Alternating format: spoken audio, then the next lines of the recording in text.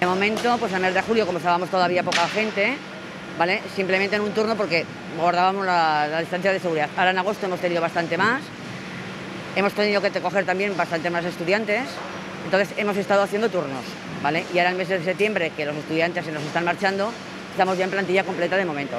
Hemos duplicado, si normalmente estábamos cogiendo 10, ahora estábamos cogiendo unos 20, 25 personas. Toda la gente que nosotros normalmente venían de temporeros, sobre todo de Rumanía, no, no, no han podido venir. La campaña de momento muy bien. Huele muy bien. De momento estupenda. O sea, se acompañan los precios, se acompaña la fruta, entonces de momento muy bien. Llevo ya tres años, que este va a ser el tercer año consecutivo que llevo trabajando los veranos, pues aquí en este almacén.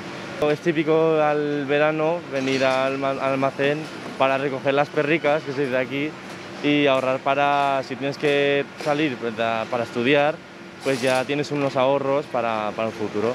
Pues yo estoy ahí paltizando las cajas y cuando se hace el montón de cajas, que se llama palé, se hace el palé, lo cojo y lo llevo a la báscula, entonces ya lo leo y la báscula le pone los flejes, lo flejo. Lo preparo para que se vaya a la cámara y eso ya salga directamente con los camiones. Es que este año teníamos miedo al principio porque nos pusieron unas pantallas y teníamos miedo porque con la calor y todo y la pelusilla decíamos, uy, pero luego ya nos pusieron las mascarillas, al final te tienes que acostumbrar, es lo que hay.